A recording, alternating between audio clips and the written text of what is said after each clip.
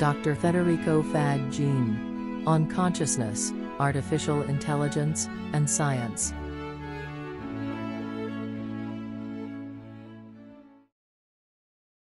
In the past, you were convinced as a physicist that consciousness must somehow emerge from the operation of the brain. What made you change your mind? Well, what made me change my mind was the fact that uh, uh, I could not understand how consciousness could emerge from uh, a computer that you know where there are only electrical signals. And therefore from the brain as science is telling us which has electrical and electrochemical signals and molecules and so on it didn't make sense to me. And so i started studying whether i could or could not have a computer be conscious and the more i studied the more i tried to make it happen the more impossible uh, it became and so so it was in this milieu in this questioning uh, that was going on within me that uh, I had an extraordinary experience of consciousness that uh, uh told me that consciousness was even much more than I thought it was. and so, so after that experience, I, I, you know, it was clear that consciousness was something way beyond what science was even hinting at, and uh, and uh, I needed to explore it because that experience was so powerful and so life changing that uh, I, I, could not let it go. Uh, it, it, was through this process that I arrived at the conclusion about 20 years later that consciousness must be fundamental. It must be the starting point of reality as opposed to the ending point of an evolution that created us. So, next to the intellectual insights, it's your direct experience of consciousness that has shifted your perspective? Yeah, absolutely. It was that experience uh, that uh, uh, showed me clearly that uh, we are much more than I thought we were. So that experience essentially allowed me to see myself as the world that observes itself through my point of view. So I was a point of view of the world that observes itself with that point of view, which is you know completely different than what was my sense of self. I, I perceive myself as a separate from the world, observing the world outside of me. And so I was certainly not the world. I was simply something other than the world. Now I am the world observing myself, and the world is love. The world is joy, is uh, peace, is something that uh, I never felt like that before. So, how can I be not only the world, but a world that is so unbelievably uh, familiar at some level and yet so powerful and incredible? Um, at that time, also, my body was resonating uh, with that experience. So my body was hot, uh, like my cells were completely, you know, uh, all all vibrating together, and uh, uh, I saw the, you know, I saw a, a, basically it was a white scintillating light, and and I understood that that white scintillating light was the stuff of which everything is made. So uh, everything was in resonance, so to speak. And uh, it was the first unitive experience that I had. I, I then understood for the first time what was meant for a spiritual experience. A spiritual experience is one that uh, makes you be one, makes you feel, makes you live yourself as one with the world. So I am the world. I am one but I'm also a viewpoint of one. So I'm a part, but also a whole, which is, you know, kind of contradictory superficially, but it is also what quantum physics is telling us that when they describe particles as something which is both a particle and a wave, where the wave can be everywhere.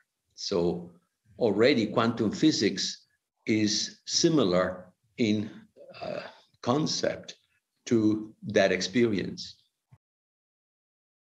How and why, in your view, has that experience of consciousness come about?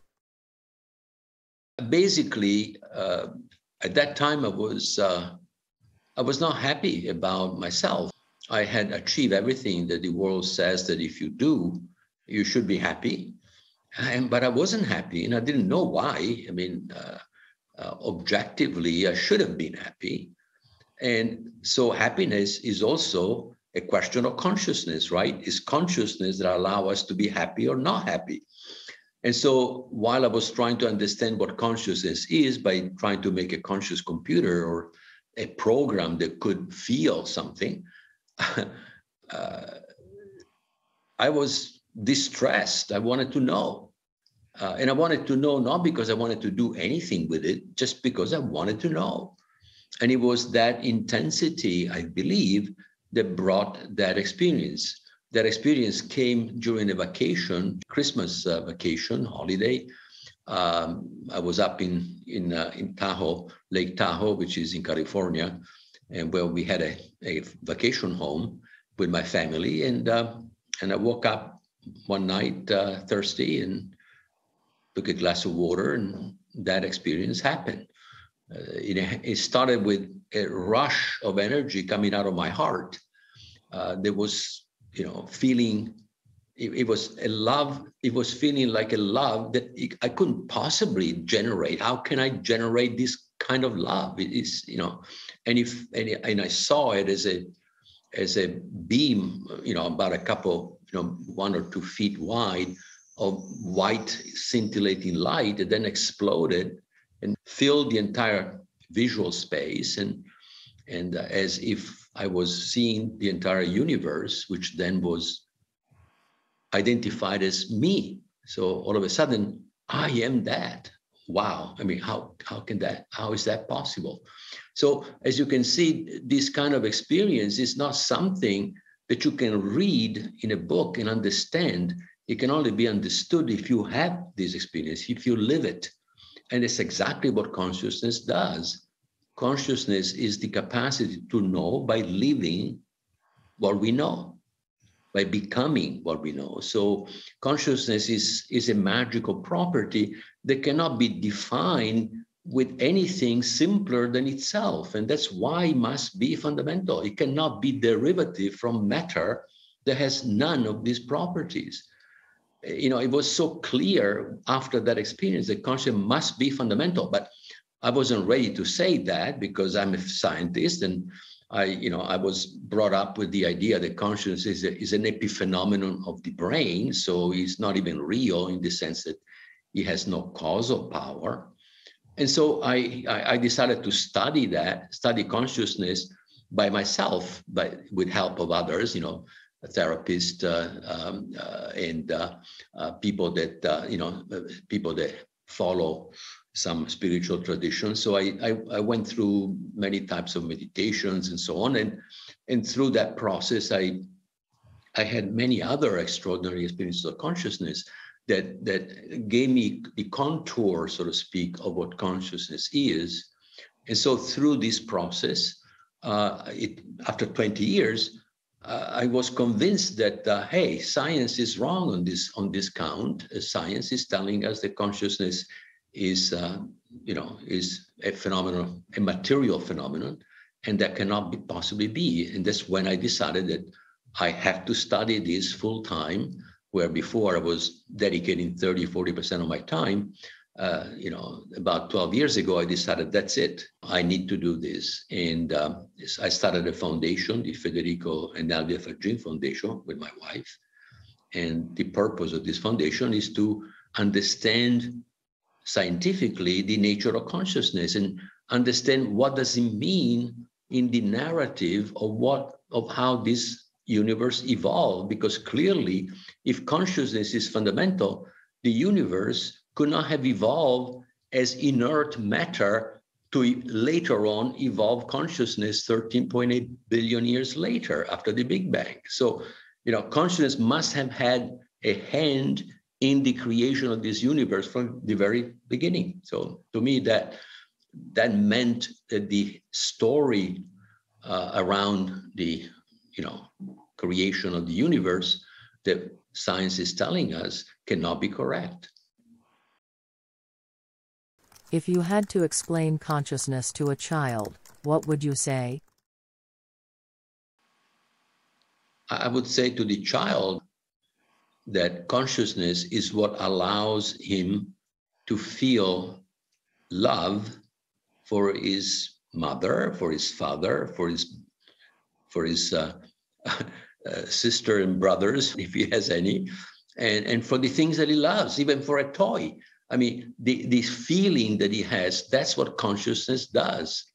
Uh, now, because consciousness is so so much part of how the child knows and what the child feels about uh, himself or herself, um, he may not understand what I'm saying because it's you know we know because we are conscious. So so we we never question until much later why are we conscious? What what what is in fact you know even the idea that consciousness must be something special uh, must have arisen uh, in, in the human consciousness um, much later, maybe 10,000 years ago, maybe 20,000 years ago, but certainly uh, uh, not early on, uh, certainly much after the, the, the birth of language. So to me, consciousness is is so natural that that even science has underestimated what it is, because we could not know without consciousness. A computer doesn't know anything. So a computer cannot ask itself any question, cannot really, uh, um, you know, uh, see itself do what it does. Uh, consciousness is that capacity of a self-reflection that is inherent in the stuff of which everything is made. And the, the computer is really a symbolic structure that we think is made of matter, but matter is actually a great illusion because matter is made of particles, and particles are not objects. They are, even in physics, they are states of the fields of particles. So this an electron is not a particle, it's not a little ball, little, you know, a little uh, a sphere, microscopic as you as you wish, it is actually a state of a field. It's actually much closer to information. So the reality of what we call matter is really informational reality. Has nothing to do with stuff. Has all to do with information. But that information is perceived by another informational structure, which is our body, and so it appears to have properties which are really properties of the interaction between the information, which is the body, and the information which is out there, which is the things of the world. Are we any close to proving scientifically that we are conscious? For all we know, we could just be sophisticated, carbon based biorobots. The fact of the matter is that uh, I cannot prove to you or to anybody else that I'm conscious. I can only prove it to myself. I know that I'm conscious within myself. That is the fundamental property of consciousness. You cannot prove to me that you are conscious. So even the Turing test, which you know is supposed to show if a person is you know is conscious or is intelligent, is a silly test. It, it, it doesn't prove anything. It is like quantum information quantum information cannot be known at all, cannot be copied. It is unknowable. So already physics is telling us that there are things which are not knowable. I can only know something about it, but very little about it. And in the theory that I have created together with Professor D'Ariano, a system that is in a special state, quantum system which is in a special state, which is a, called a coherent state, it's called a pure state, as the experience of itself. And so consciousness is this property of systems, quantum systems, that are in a pure state and therefore can know itself. So quantum information does not describe information because information should be should be shareable should be known by everybody like like the information of a computer like the information you know my speech can be heard by everybody uh, and, and so on so the only one that can know that information that quantum information is the system which has that state, which has that information. So that quantum state is a representation of an experience, not a representation of information. So it's simply a misnomer. Quantum information is, in fact, an experience. And now we can begin to understand what quantum physics is saying. Quantum physics is telling us that there is such a thing as experience, which is pr- private to the person that has the experience. And the person is a quantum system that has an experience. And that experience cannot be known by the person that has it. It feels counterintuitive how classical and quantum physics are concurrently valid. After all, one is deterministic and reductionist, while the other is indeterministic and holistic. It's a very good point, actually.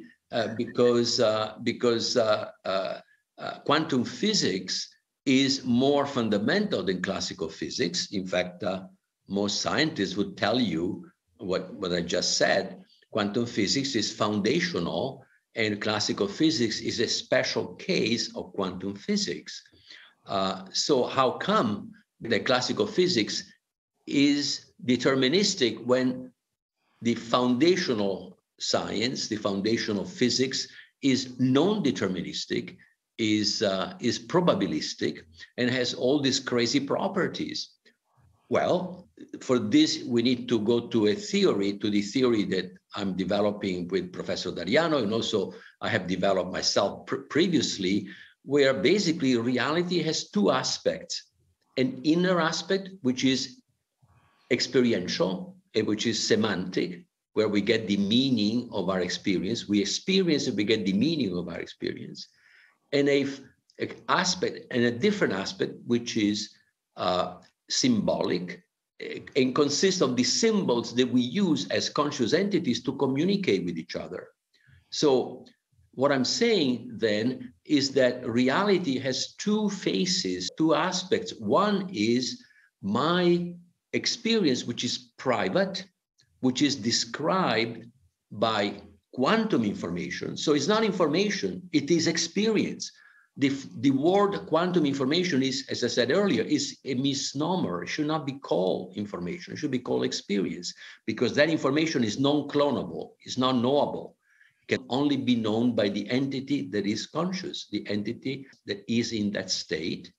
And the outer aspect is the informational aspect they are symbols created by the entity that is conscious.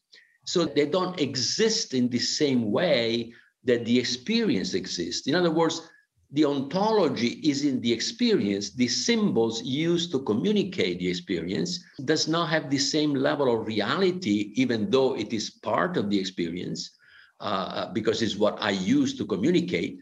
But it, it is not necessarily conscious, and so that part is what creates what we call shareable symbols. That's that is classical information that then behaves deterministically. So what behaves deterministically is the outer aspect, which is the lesser aspect of the experience, you see. You mentioned a new theory that you have developed together with Professor D'Ariano. What it's all about? Uh, the theory with Professor Giacomo Mauro D'Ariano is a panpsychist theory that uh, recognizes that a system which is in a pure quantum state, so a quantum system that is in a pure quantum state, has an experience of its own state. So that's a postulate. And the justification for that is very simple. First of all, a pure state is a definite state, exactly like the experience that we have is a definite experience. is not made of part. It is an integrated experience, as a unity in it, and it evolves as a unity. And so it's exactly like a quantum state does, is, as, is a, it's like a vector in a very special space called the Hilbert space, which has many dimensions, and each dimension is complex. Unfortunately, it cannot be explained in any simpler terms than what I have said. So it's a, it's a mathematical space, very complicated mathematical space, that, however, is the representation of the inner space of our experience, which is what we know because we have an experience within ourselves. And um, the other thing is that uh, a pure quantum state cannot be known from the outside. No one can know that state exactly like our experience, which is private.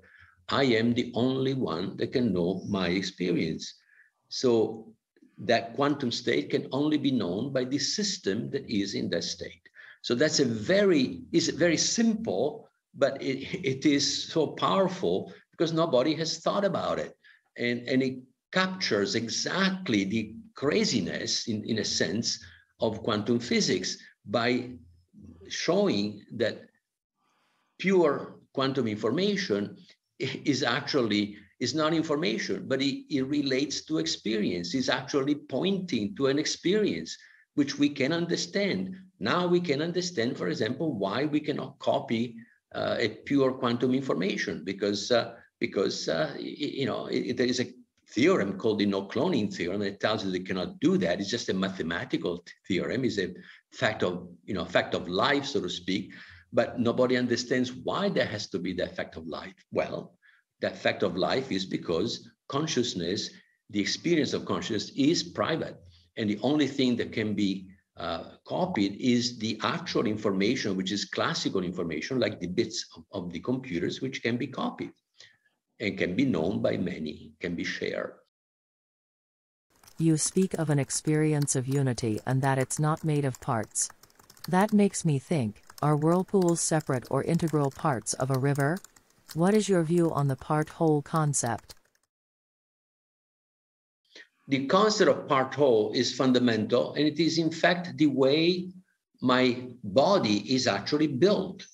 I have about 50 trillion cells, and each cell of my body contains the genome of the fertilized egg out of which my body was constructed.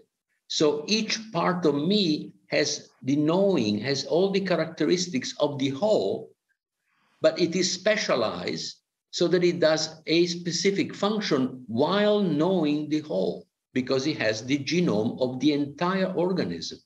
A computer is not built this way. A computer has transistors, which are switches, and a switch is just a switch, you know, it's on or off, period.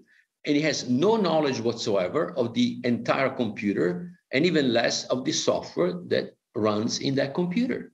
So we are completely different structures than computers, even though most scientists would tell us that we are like we are a machine like a computer, which is not true at all. It, even the body, which is quantum and classical informational structure, is in a sense a copy of these conscious entities which are part wholes. They are points of view of one, the totality of what exists, but they also have all the characteristics of the whole, all the characteristics of one. So this concept is foundational, just like a particle is both a particle and a wave. You see, you know, there is the repetition in life of something which we do not want to understand because the classical world is made of parts which are separable. But a part whole has to be that way because one is holistic, is not made of parts that can be taken apart. They, they are integral of the whole and they cannot be taken apart. Speaking of the points of view of one and many, some people who have had a unitary experience of consciousness report the disappearance of self at the moment of becoming one with their surroundings. What are your thoughts on that? Because when we are incarnated in a body, living this life, we are actually a much vaster entity that believes to be the body. So when we believe to be the body, we reduce ourselves to only that portion of ourselves that pays attention to the information that is created by the body. So when we do that, we think that we are the body and we become just a separate object. But then if we allow ourselves to think of who we are, then we are the whole. In our, in our native state, we are the whole, but with a point of view. The point of view, which then becomes an even smaller point of view, which is the point of view of the body when we are incarnated. But when we lose the body, we'll return to have that other point of view, which is vaster and yet is still a point of view which is unique to us, even if we can see the whole. Why do we need a body at all? What is the purpose of life? Why are we here, right? In my in my model is, is still a, is a theory, really. It is, is an hypothesis at this point, but it is an hypothesis that uh, has legs, so to speak, because uh, it makes sense. Uh, is that one, the totality of what exists, desires to know itself. And every time it knows something new about itself, it brings into life, into existence, what it knows about itself. What, you know, in other words, existence is equivalent to knowing for one. So when one knows itself, it has a new self-knowing, not, not the stuff that he already knows about itself, but a new self-knowing. It brings into existence the new stuff that he knows. And that's an entity, a conscious entity like us, that has to have all its characteristics, meaning also that the entity that is brought into being, into existence, also has the desire to know itself. We are like that, and we are here to make an experience to know ourselves. This physical world, in this model, in this theory, is simply a creation. It's like a virtual reality created in a computer where we want to have a special experience. Now, we conscious entities collectively have created this physical world, which is much more sophisticated than the virtual realities that we create in a computer, to have an experience in order to know ourselves.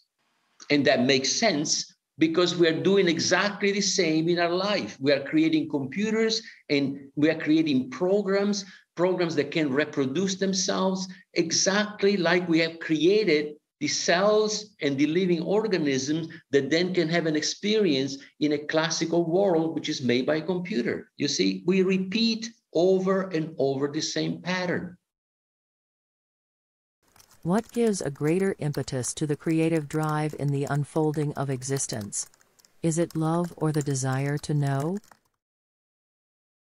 Yeah, my intuition that is that love, uh, love is the taste, so to speak, is the feeling that you have of your self-knowing. That was the taste I had when I knew myself as the universe observing itself with my point of view. That universe and myself, because I was the universe, felt like immense love, immense joy, immense peace. It felt like being at home, not my home, but a vaster home, which is my native and real home. So to me, love, joy, those are feelings associated with knowing, with self knowing. Uh, so in a sense, if you say love and self knowing are the same thing, because you know they're certainly inseparable. Once you know yourself, that knowing of yourself feels like love. So, you know, so then, yes, then is the same that I said earlier. A new self knowing generates a new entity that you can love and that loves. So, you see, because we, we tend to think these things are separate. So, properties are separate. Properties are not separate. I mean, properties are separate in the classical world, in the world of things in the worlds of computers. Yes, they're separate there, but but those things are not as real as the ontology of knowing of uh, uh, of experience where that ontology is holistic and therefore cannot be made of separable parts. So even the properties cannot be separable. It, it, so it means that love and joy are not two separate things. Love contains joy, and joy contains love. You see, so a lot of the concepts that we have that we apply to reality are not applicable to the inner world. The inner world is made of stuff that is, uh, you know, where where there are no real there are no parts that are separable just think about when when you when you understand something new you you have a wow I, I get it. You know you you feel joy you feel love for what you for what you have just done. I mean eh, you know they're, they're, part of the same part of the same structure you know. You, you know you you you you also get the a new structure in it you know. You, you get the structure inside the new knowing there is a structure, and it is that structure that you try to repeat or represent in the symbols that you use then to communicate your understanding, your knowing, your, your meaning to others. That's why the physical reality also gets ever more complex because with our increasing self-knowing to communicate, we need ever more complex symbols my body is a symbol that communicates and i need that symbol to communicate to you to others and so you know i'm a symbol made of 10 to the 28 atoms. It's a lot of atoms to create this symbol. And you this, the same. So so that tells you the the level of self-knowing that we have reached as conscious entities. We need symbols like you and i to communicate. I guess it's only possible to know all this through first person experience or perhaps even a deeper experience of consciousness. Knowing can only be an inner experience. A, a computer cannot know, a, a mathematical formula cannot know. So knowing is what we do as conscious entities. So, as I said, you cannot prove that stuff. You can only prove it within yourself. You know it within yourself. And if you know the same thing within yourself, well, then we can agree, and then we may even find a mathematical formula that captures some of, not all of it, but some of the structure which is inherent in our joint knowing. But the idea that you have to prove everything that you say is completely wrong. It can only it, it, can only work for a world which is classical. It cannot work for a world that is quantum because quantum information cannot be cloned, cannot be known. It can only be known, but but not known as structure. It cannot it can only be known from within by the entity that ha- that is in that state. You see.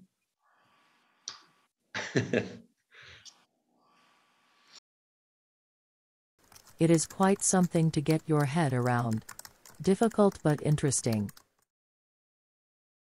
Because otherwise we would be machines. Come on, we would be machines. Of course, that's what science is telling us. We are machines, but, but this is the wrong idea that we need to go beyond. Machines are machines. There are machines, but we are not machines. We are also machines. In other words, our body, the functioning of our body can all be described as a machine, but we are more because we are connected with an entity which is which is quantum that does not even exist in this space-time. It exists in a reality which is vaster, contains space-time, but it is vaster than space-time. So I am an entity that controls my body. My body is a structure in space-time, which then can disintegrate and I don't go anywhere because I, I, I exist. And once I exist, I exist forever. I, am not going to die as a, as a conscious entity. My body dies, of course, but because my body is not an ontology, is symbolic. But all the experiences that one has as incarnated consciousness do not simply disappear, right? Yeah, those experiences are, you know, must be must be stored, their memories, according to this theory with D'Ariano, uh, must be stored classically. But I, I may only be the one that understands the code in which I store my experiences. So, so if you don't if you don't know the code, you may not have my experience either. And besides, even if I have the code of the storage that is simply a pointer to the experience, the, you know, it's like an it's like an address to memory, but the information is in memory. So my my memory of an experience is in the form of a pointer to a experience that is in me. And so i can recreate my experience but it may not be exactly the same as when i experienced it originally. But it is it is still my experience. Because the dynamism of my experience is such that I, I can only store a portion of my experience because my experience is much deeper than what I can put into symbols.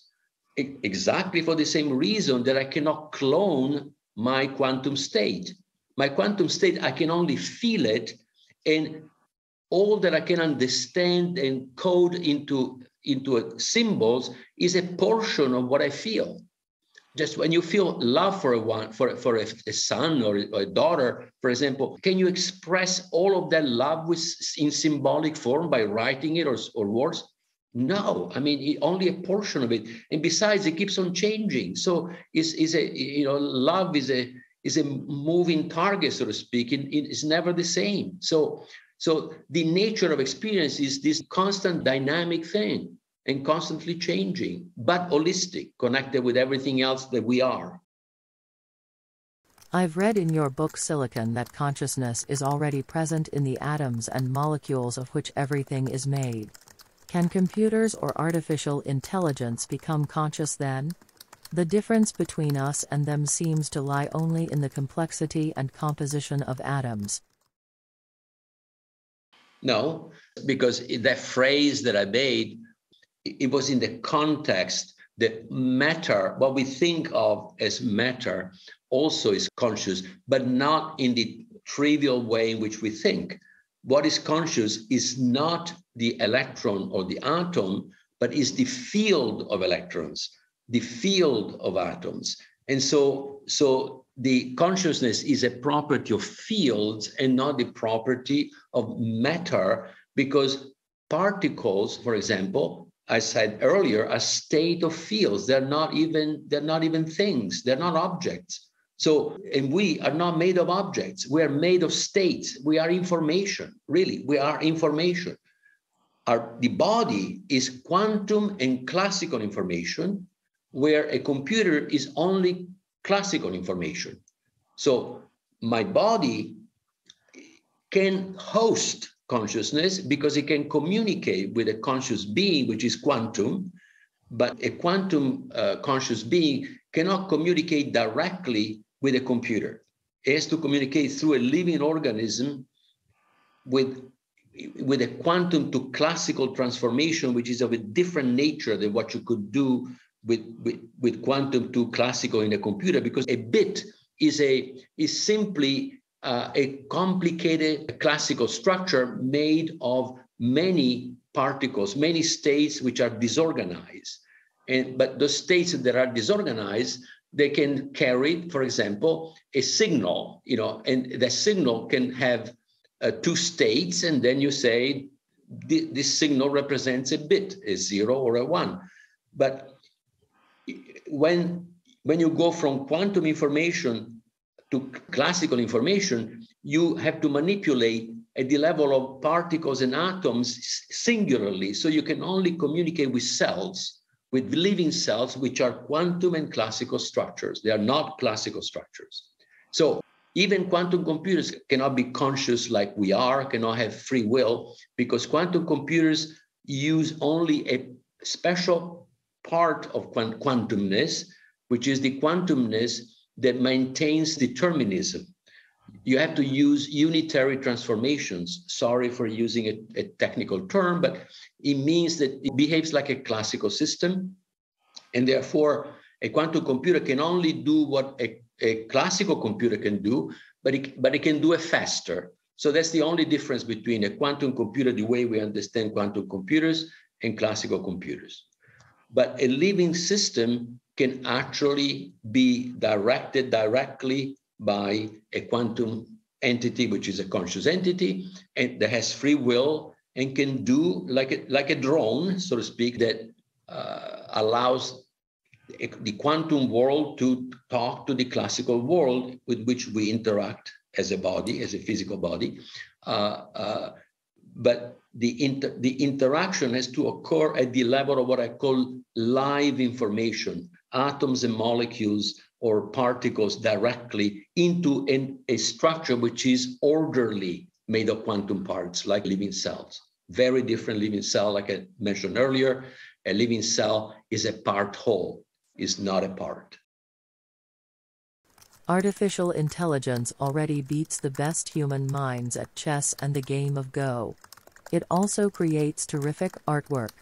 It's even possible already to envisage machines designing and building other machines better than people can do. What is the future like for us?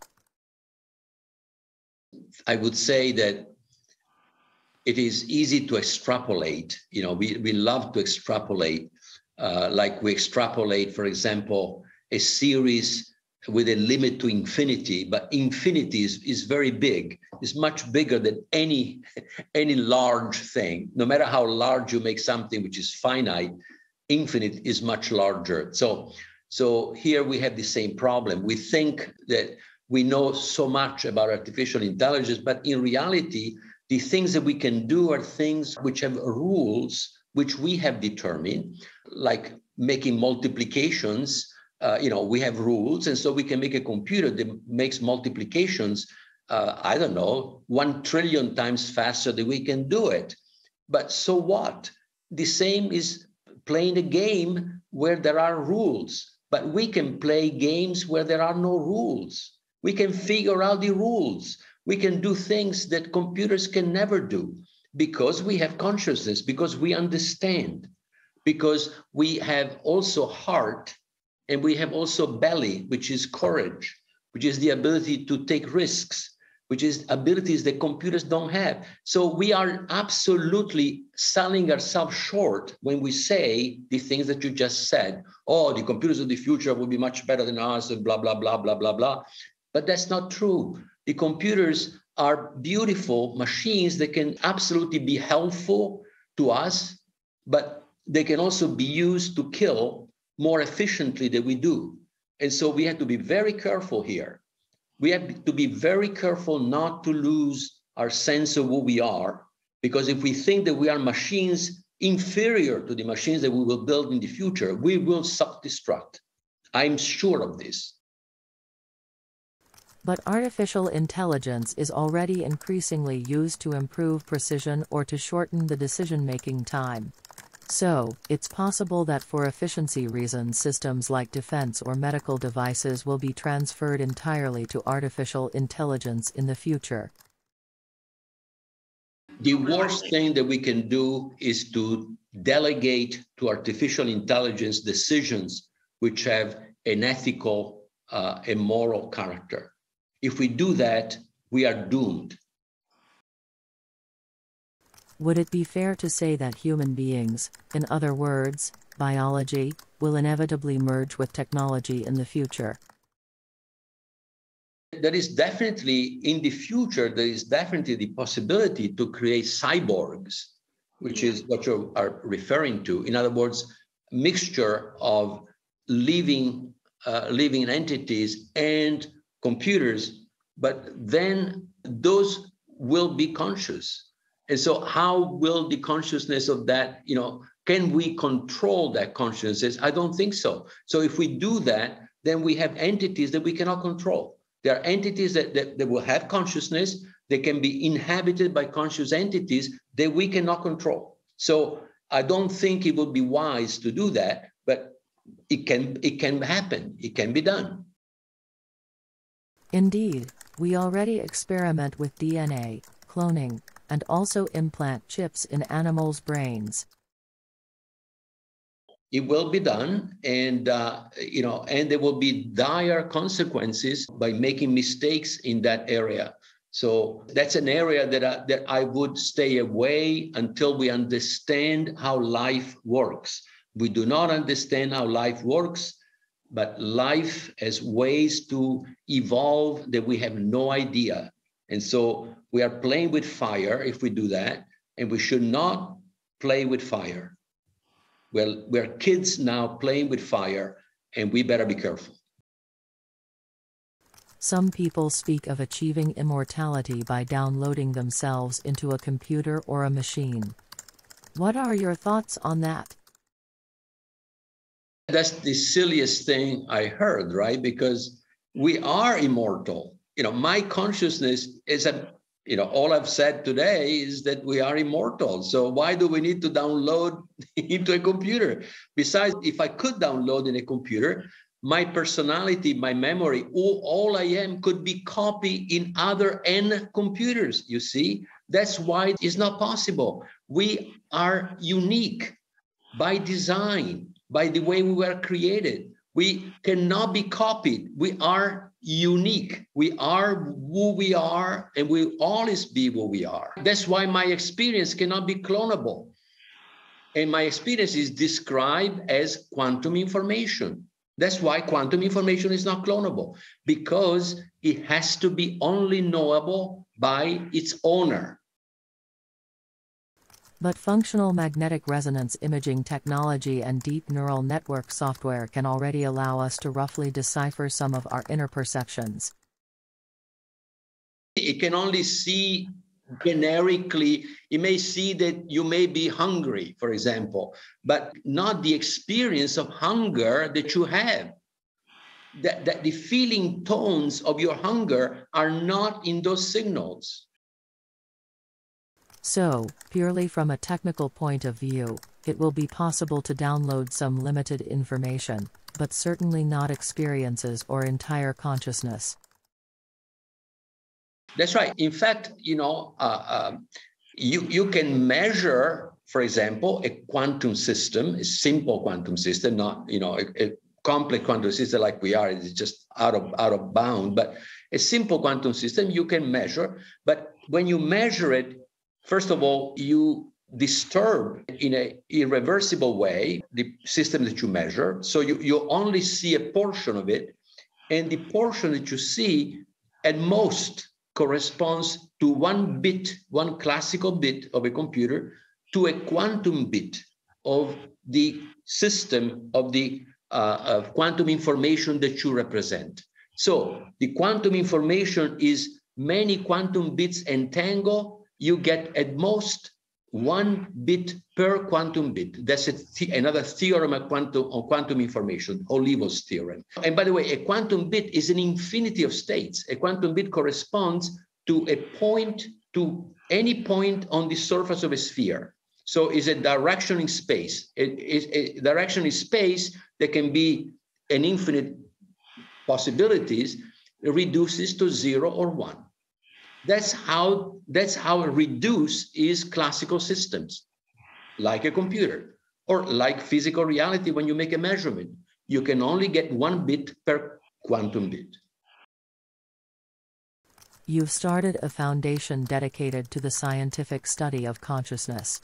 What are the most promising fields in science today to study consciousness and why?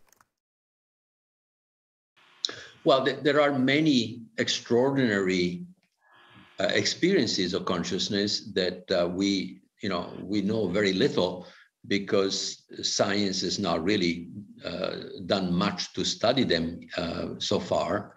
For example, uh, out-of-body experiences, uh, which you know hundreds of thousands of people have done. So, so those are those are a type of extraordinary experiences that could be studied systematically and understand how consciousness can in fact experience reality without the sensory system of the body. How is that possible? How can you out of body see things like they are in the physical world or even see worlds which don't correspond to this physical world? This is not an occasional person that has these experiences, but uh, there are hundreds of thousands of people that do this. But even more simple things need to be studied. Uh, um, and uh, for example, special effects that we have, like uh, three dimensional effects that we have when we see only in, in two dimension. Our eyes are two dimensional. And, uh, uh, and so we, we have special things that happen in the brain that uh, uh, uh are not explainable without the notion of consciousness. But most important, we need a theory that can make predictions. And the first theory that I know of is this theory that uh, D'Ariano and myself have developed. Uh, is it, it, this theory is falsifiable, so it's a actually a, a, physical theory that can be can be disproven. Uh, if it could not be disproven, it would not be a theory. And so, so, so now we can formulate questions in a way that is scientific, and then we can proceed with making experiments. So uh, this, you know, this is the first step: is to have a a, a, theory uh, that is in principle uh, a theory uh, that consider uh, systems as black boxes and can make predictions. And this is uh, this is the the road ahead of us. Where can we learn more about your new theory? This theory is already published as a chapter in the book. The book is entitled um, uh, artificial intelligence versus uh, natural intelligence by Springer, and is available right now. So it's uh, it's already a published theory, and then we can go from here. I've read in your other book Silicon that we need a paradigm shift in the organization of science toward the primacy of consciousness and free will. What needs to change for such a shift to occur? Well, we, we need to take seriously the fact that consciousness may be, for the people that don't believe, um, uh, a fundamental property of nature. And, uh, uh, and so we, we, cannot just dismiss it as it has been done in the past by most scientists, um, uh, so that it's taken seriously. Of course, by taking seriously consciousness, uh, as a fundamental property, as I said earlier, the entire narrative of science needs to change. And that that is why many people don't accept this because it, it, it would mean that the story that we have that we're telling each other is not correct. And so that's a major, major consequence of starting in this direction. Um, uh, and yet, the uh, theory that with D'Ariano uh, doesn't change anything of the uh, of the facts of physics that we know. It simply interprets it in a completely different way, the nature of reality. And because of that, we can imagine questions to ask that with the prior uh, mindset, we would never ask because we would consider silly or stupid. So it is time to step forward and take seriously the nature of consciousness because science certainly doesn't have the explanation. Science cannot explain why life exists as a natural phenomenon uh, this, where a, a cell self-assemble. No one has shown how a cell can self-assemble into a living, self-reproducing cell, for example. There are people are arm waving, just like they are arm waving when they say the consciousness is produced somehow by the brain but that's not an explanation. So uh, I can, in fact, uh, with this new theory, explain eventually uh, can be explained why brains can be created by conscious entities that interact with each other, because eventually their self-knowledge will bring them to the creation of structures which are what we know as a brain. What piece of advice would you give to someone whose career path is related to science?